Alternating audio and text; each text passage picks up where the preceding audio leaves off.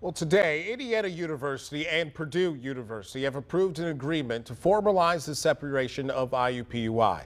The university will become two, Indiana University Indianapolis and Purdue University Indianapolis. Each university is slated to begin its separate Indianapolis operations in the fall of 2024.